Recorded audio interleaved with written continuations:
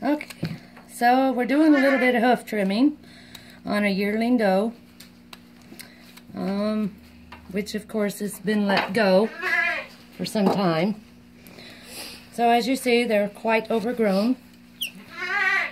The idea behind hoof trimming is to go ahead and trim the outer wall first, which is this here, the long part, and then we'll trim the heel. So after I cleaned it, and of course some of them don't want to always cooperate and they jerk.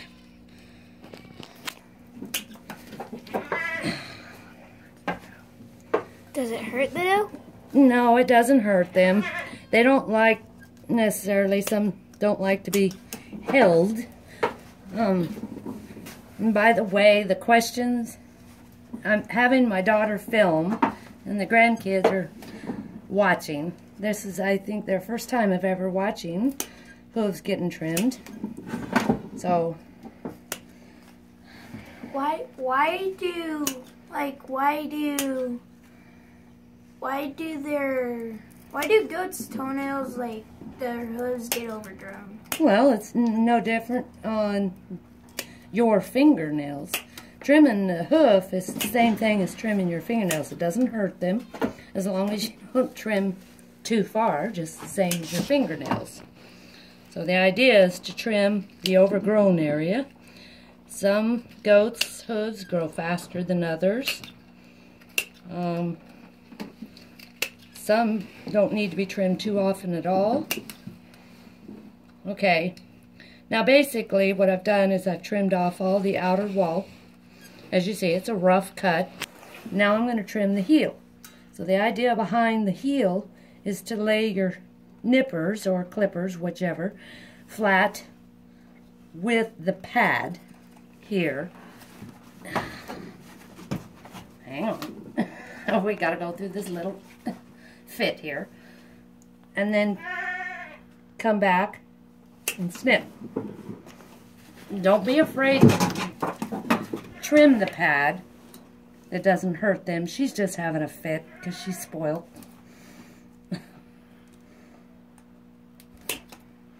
now, as you see, right here, see that little kind of, it's, hang on, little pinkish color or brownish color. Okay, that says that you're getting close enough you don't need to go no further. Okay, her hooves are naturally white, so I know that's not a dark color that's supposed to be in there. So we'll stop right there because if we go deeper, it'll draw blood. I don't like drawing blood. so we'll just keep trimming. Generally speaking, the back hooves, as you well know on goats, they don't paw with the back hooves, they paw with the front hooves. So they don't wear the back hooves down unless you got a lot of rocky ground that they're on. So we just keep trimming away. Why doesn't the why don't why doesn't it hurt the goats when you trim their hooves off? Well, it's like I was saying before, it's very similar to trimming your own fingernails. It doesn't hurt. I know, but um, what if it didn't hurt if you went too far. Well, if if I go too far and I draw blood, I imagine it would hurt. Um, generally speaking, you go little at a time until you're comfortable or you see a lot of pink. Um, what I like to do on the back hooves especially is go go a little bit deeper than I would on the front hooves because I know they don't wear them down as fast. So I just keep going and going and going. So what if you accidentally, like, what draw if you blood? yeah. Well, what they accidentally happen? draw blood. Now, if I accidentally draw blood and I'm not finished trimming, then I will keep trimming and just avoid that area.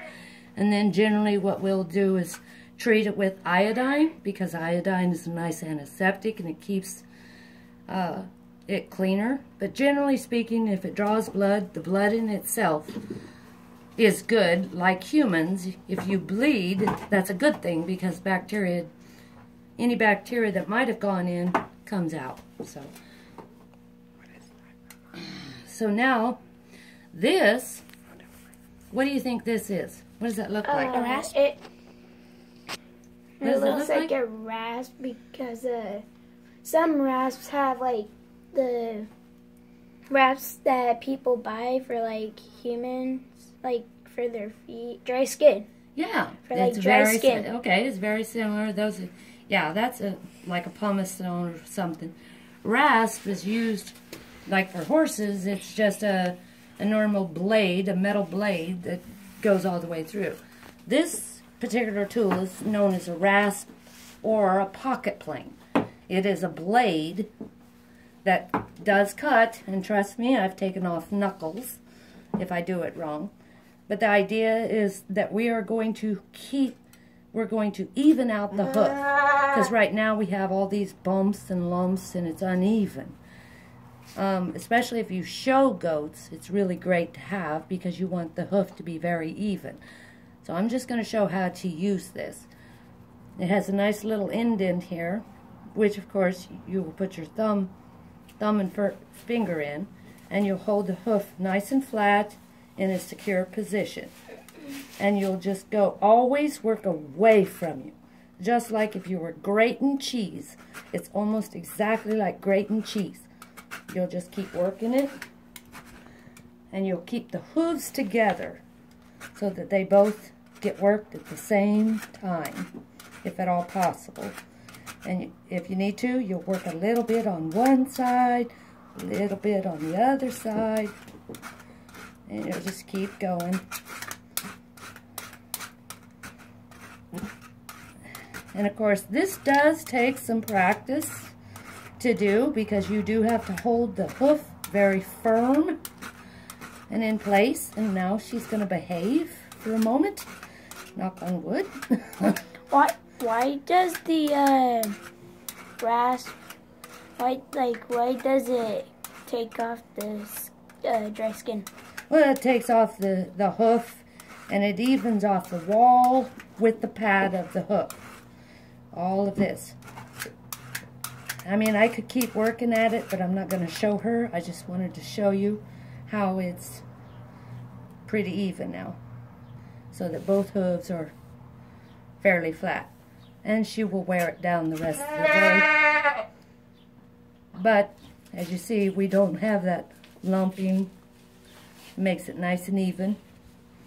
So, and there we have it.